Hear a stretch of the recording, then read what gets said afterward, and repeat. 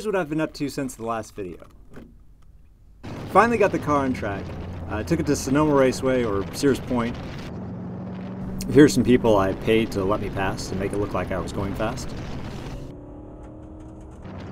Good news and bad news. Good news, I got the car up to 115. There's not a lot of straights there. So even that was, was kind of impressive. And I wasn't driving hard. I wasn't going that fast. I'd never driven Sonoma before. But car didn't fly apart, didn't explode. Oil temp, water temp all stayed nice and cool. Basically all the things I was a little worried about turned out to be fine. But then the car did a couple things uh, I wasn't expecting. Uh, one, it was pulling to the right a little bit under hard braking. It was fine acceleration, fine if just lifting deceleration. It was fine under light braking, but under heavy braking, it was pulling to the right a little bit. Also, turn six is a big horseshoe shaped curve, and coming through there, I was finding I was having to squeeze the, the steering wheel pretty hard to keep it from slipping in my hands. And after the third session, my hands were getting pretty sore from, from just clenching it so hard. And then slowing down from triple digit speeds between six and seven, because turn seven's a, a, a tight hairpin. It felt like I was getting a little bit of brake fade. It was a, it was a hot day. It was over 90 degrees out, which again was a good test on the engine. I was worried about the engine being so enclosed in there, getting enough cooling, but that was all fine. So after the event, got the car home. Uh, the first thing I did was looking for the braking problem. Just kind of examined everything. I did a, four-wheel alignment with string, which I had done in the past. I hadn't done in a while just because you just try to you know make sure you're doing the same thing evenly uh, when I was making any kind of small alignment changes. But I found the rear wheels were about an eighth of an inch further to that side than the front wheels. Not a lot. I don't know that you could feel that, but I corrected that.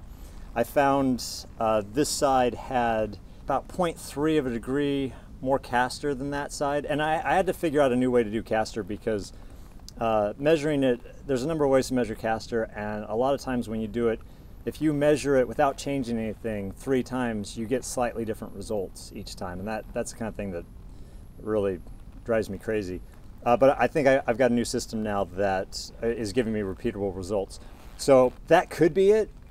The other thing that would make the most sense is I found I had a small tear in the CV boot on this side in, in the rear and it was spraying just this fine little bit of grease. And so you think, okay, that got on the brake rotor and that was causing uneven braking. Uh, the only thing is I couldn't find any evidence that the grease was getting on the rotor. It, it sprayed in a couple places, but you could see real clearly where it sprayed. So, you know, any of these things could have been it. Again, I would never notice it if I wasn't going over 80 and slamming on the brakes really hard. But I'm gonna, I got to get it back on track to find out if I've got it all sorted. Uh, it's I've had this with other cars where usually I start with autocrossing before I take the car to the track, just to find any major problems at a lower speed. And what happens is you get the car and it's it works perfectly, you don't have any problems, and then you get it on track and suddenly it does things that it's never done before, and you just didn't know because you'd never had it that fast. Got a new steering wheel. It's an inch bigger in diameter and it's got Alcantara lining, which isn't, you know, period correct, but uh, I don't want to die when I'm trying to turn. Uh, so I think that's more important. I know I just I need the um, I need the friction in my hands so I don't have to grip it so hard. I also stiffened the attaching points uh, for uh, the steering column uh, under the dash. Uh, it had a little bit of flex. So I, I firmed that up. I finally added a speedometer. Uh, it's a GPS speedometer, so I didn't have to wire anything to the gearbox. I'm a little conflicted with that. I don't think race cars should have speedometers. You don't look at the speedometer, you go as fast as you can. But I was calculating how fast I was getting up to in places using the revs and, and knowing the gear ratios and the tire diameters but I thought it was a nice addition. It filled a, a, space I had in the dash. And obviously that's supposed to be on the other side of the dash. But if you go back to my original video series, you'll hear the story of how my dash showed up in the wrong orientation and I cut it up. And because of that, the speedometer spot is on the wrong side in my car. While I was doing this, uh, there was another problem that I fixed. The Because I'm just using Lexan for the rear window, uh, it caused the, the rear clip to sag a little bit right up up here. So instead of having this, this curve down, it kind of went like that. And without the, the Lexan in there, the fiberglass had the right shape, but you, you put that in, the weight just makes it sag because the Lexan doesn't have any shape to it. And I thought, you know, when I redo everything and make the panel gaps all better, I'll put some extra fiberglass in there and uh, make that stiffer so it holds its shape. And it dawned on me while I was was fixing this stuff, uh, these other things, like you know, if I just put a strip of aluminum in there in a 90 degree angle and and curve it, uh, you know, shape it so it's got the right curve in it, I can just bolt it to the screws I'm already using. Uh, to hold the, the Lexan in, and it'll hold it to that shape, and it even gives then the Lexan you know, putting that little bit of, of curve shape in the Lexan makes the Lexan stiffer. So that that helped there, and I, I tightened up this panel gap while I was at it. That none of that really matters. It's just something that was I realized, hey, this is an easy fix that I can do right now while while I'm doing other stuff. And I'm getting more and more uh, into the idea of I'd really like to take all the body off and get all the panel gaps nice and tight and even uh, and repaint it. Um, so, so someday. So then I took the car to Crow's Landing for an autocross, which usually that's a great place for autocrossing. Uh, we get up to some higher speeds. There's a lot of space, a lot of room to kind of have a, a mini racetrack out there with nothing to hit, so you can really push the car.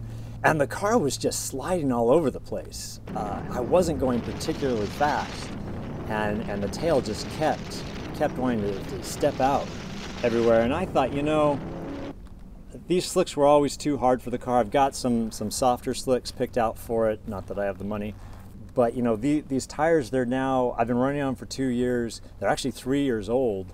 Uh, I had them for a year before I started running uh, because of the delay I had with the the axles in the back. I thought, you know, maybe they're just shot, and I was a little worried because I've got I had a trip to Laguna Seca coming up, and I thought, you know, maybe maybe I should just skip that because the car's just it's, it's not dangerous to drive, but you have to go pretty slow or, or you're all over the place. Um, but uh, in doing my usual checks afterwards and going through everything, I found uh, I had a broken link on the front sway bar. So the front sway bar wasn't doing anything. And that kind of explains the tail happiness. Well, there's your problem. Actually, that wasn't the problem. It was the bolt that went through the snaps. The, the broken link was because I had a little too much misalignment uh, in the rod ends on, on the links. And so I both fixed the amount of misalignment it had uh, and got some better hardware that can allow for more misalignment. So I, I, fixed it in two ways. That, that should be fine now. Then the other big thing I did after Crows, something I've been trying to get to for a while, is I redid the rear suspension to get the wheels centered in the rear wheel wells. This goes back to a mistake. When, when I was fitting the body, I actually adjusted the location of the wheel well slightly, and I did it based on where the wheels were. And what I didn't realize, because I'd had the car together and apart numerous times as I was building it, that at that time I didn't have the rear wheels in alignment. And what it was was I had so much toe in that when I, I put the toe back to a reasonable spot, the wheels were now a half inch further back than they were when I got the wheel wells all nice and centered. So I just had to make some new control arms weld them up, and now the, the wheelbase is the, the correct 95 inches. And I think that's going to go nicely with when uh, I move the engine location. I'm going to move it down. I'm going to move it forward a little bit. Uh, so I'll kind of have the same relation that I had before when the wheels were further back. And then if you've seen the other video that I've just put out, uh, I got new brakes for the front. Trying to cure that, that brake fade I was getting, getting a little more heat dissipation. Bigger improvement is probably going to be the 16 pounds per corner I took off of unsprung weight with it. And then a lot of it's just bling factor. Uh, but now it's got the kind of brakes it ought to have in the front. Then I got the car back on track, this time at Laguna Seca, a track I know much better. It's the day before Halloween, so I thought that was a perfect time to scare the crap out of myself. So, I've brought a car with too much power and not enough weight, with tires that are too old, to the racetrack. Downside of Laguna Seca is sound restrictions, and that's why you end up with extra mufflers like I've got here. That knocks a whole two decibels off the car.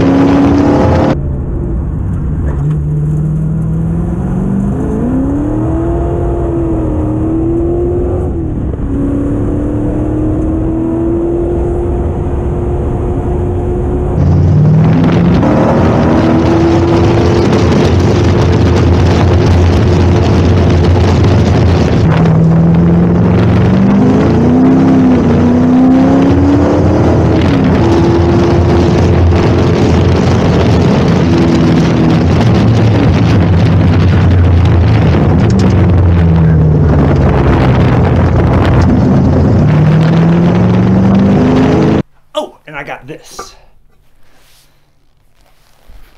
I got to take my kid to Pebble Beach to the concours this year. That was really amazing. He's been to a lot of vintage racing events, but I haven't taken him to a lot of car shows, and he's more into supercars than race cars. So this event was just perfect for him. Uh, I mean, we walked right in. His favorite car at the time was the Ferrari SP3, and they had all three of the Ferrari SP cars lined up right as you walk in. But his new favorite car is now the Hennessy Venom F5, which we were behind on the road going through Monterey for a while. Then we got to see it at the event where they, they put the concept cars around. And, you know, I'm, I'm getting information about it on my phone, telling my son, oh, it's got 1,800 horsepower. Uh, and his, you know, mind blown, and now uh, we have it on a mug. In a weird way, and maybe it's just because I'm getting older, I'm finding I like working on the car more than taking it to events. And uh, a lot of that is because in order for me to get to an event, I've got a hectic week trying to get everything done I need to get done so I can be away for a day or two. Then, you know, the, the night before, loading up the car, the, the, putting the car on the trailer, loading up the truck with, with all the tools I need and everything, uh, not getting a good night's sleep, getting up at 4.30 in the morning, towing the car to the event, getting there, being kind of rushed again to, to unload. And then you get to, you're driving on track, you're, you're doing an autocross, whatever you know, there are times when you're sitting in traffic in your normal day to day life and, and it's just so frustrating. You think, man, it would be great to be blasting around a track right now. But the thing is, I don't feel like that when I finally get to the event. At the point where I'm at the event, I'd rather be back in bed. And now I'm trying to make myself go fast, and I'm just, I'm not feeling particularly enthused or brave and so then you just kind of have a disappointing outcome to it. I mean, it's it's still fun.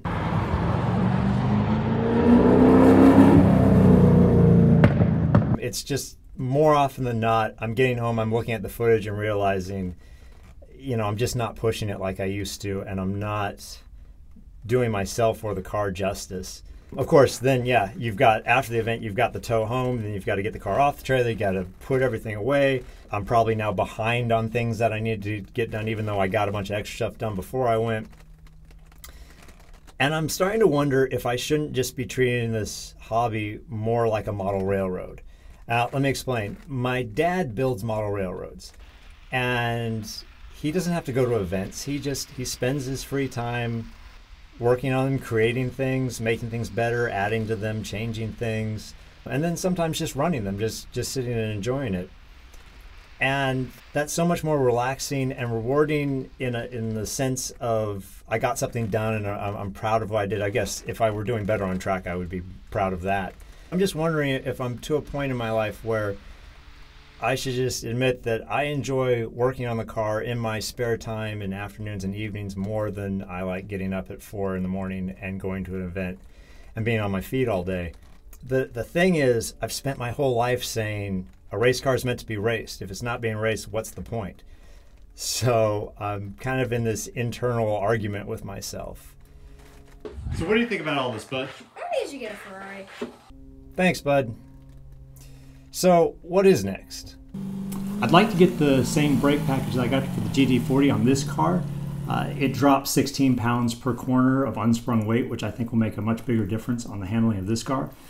But that costs money that I don't have. So, what I'll probably do next is uh, move the engine on the GT40. I figured out I can do three quarters of an inch down and a half inch forward just to make the center of gravity as good as it can be, and I can do that just with a little bit of raw steel that I already have. As for the channel, I haven't been making a lot of videos lately, and that's for a couple reasons. Uh, when I started, I'd just been laid off of my work and I had some free time, and I thought it was a good opportunity to document what I'd done uh, with the GT40 and the other car. It was something I had been thinking about doing for a while, and now it seemed like I finally had the opportunity to do it. But then it was starting to take up a little too much of my time, and I figured I needed to spend a little more time trying to find steady work. Uh, I'd like to find a full time job before I have to sell the cars to pay for food. And money is another reason. When Road and Track first wrote the article on my GT40 series and the views just started skyrocketing, I thought, hey, maybe there's some revenue to be made here and I can do something cool. I can take that money and put it into making more videos. And, you know, if it was a lot of money, maybe I could do another car build. I have crazy dreams about like making a car where everything's adjustable to the point that we can test it with specifically different centers of gravity, weight distribution, roll centers, uh, and combinations of the things where you're changing one parameter at a time and taking it out and testing and see what they do. So you know when you're having to make compromises making a building a car, you know, hey, if I have to do this, it's going to affect it this way. You know, the lap times are going to be affected this much. If I do this instead, if I make this compromise, it's going to do this. But that all seems like a pipe dream now. You know, if I was making some money from the videos, uh, I would do more things like I just did with the, the brake upgrade video, where, you know, how-tos and discussion videos about different upgrades to the car and design things. It would also be cool to go out and film other people's creations and get their stories and document that. But in the six months my videos have been out there, I've made a grand total of $102 before taxes. And based on which of my recent videos people watch and which they don't watch, it seems like if I don't have really good subject matter to make a video on, I just shouldn't make a video. So I've been focused on finding steady work. I mean, it would be a dream to get to combine my professional career of doing video work uh, with building cars. It'd be nice to just get to build cars. Uh, I've thought about offering my services to assemble kit cars for people or maybe uh, build chassis like my Lotus 38 replica. But honestly, who knows what the future holds at this point. So thanks for watching. I hope you get to get out there and do something awesome. And if I get to do anything awesome, I'll be sure to make a video about it and get it up as soon as I can.